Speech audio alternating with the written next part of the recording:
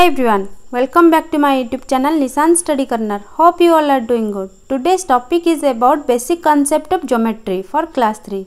Let's discuss briefly about it.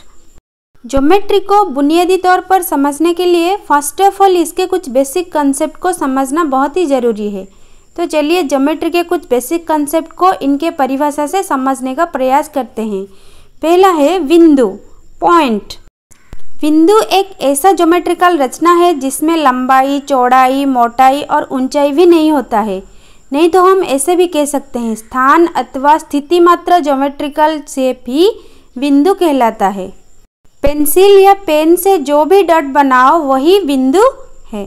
Line segment, रेखाखंड, दो बिंदुओं को मिलाने वाली सीधी ज्योमेट्रिकल लाइन को लाइन सेगमेंट कहते हैं।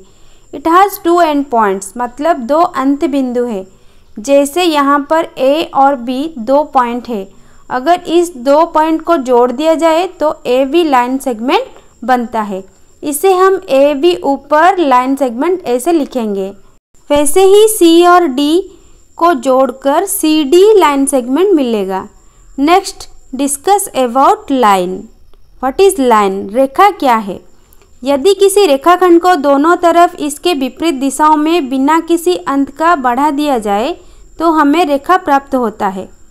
पी क्यू एक लाइन सेगमेंट है। अगर दोनों तरफ़ बढ़ा दिया जाए तो नया जो लाइन मिला, उसे एल एम नामित की हूँ ये एल एम एक लाइन है। इसे एल एम लाइन ऐसे सूचित किया जाता है।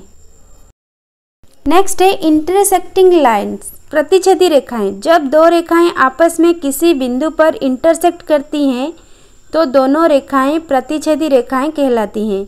और दोनों रेखाएँ जिस बिंदु पर प्रतिच्छेदी करती हैं, उस बिंदु को प्रतिच्छेदी बिंदु कहते हैं। जैसे चित्र में दिखाया गया है ए एल और पी एम दोनों रेखा आपस में ओ पॉइंट में एक दूसरे को इंटरसेक्ट करते हैं।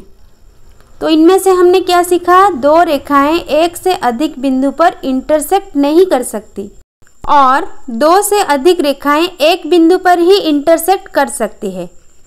नेक्स्ट चलो बताती हूँ समांतर रेखाएँ के बारे में। दो रेखाओं को विपरीत भाग में बढ़ा दिया जाए तो आपस में इंटरसेक्ट नहीं करती हैं। उस रेखा को समांतर रेखा कहा जाता है। जैसे यहाँ पर ए बी और सी डी दो रेखा है।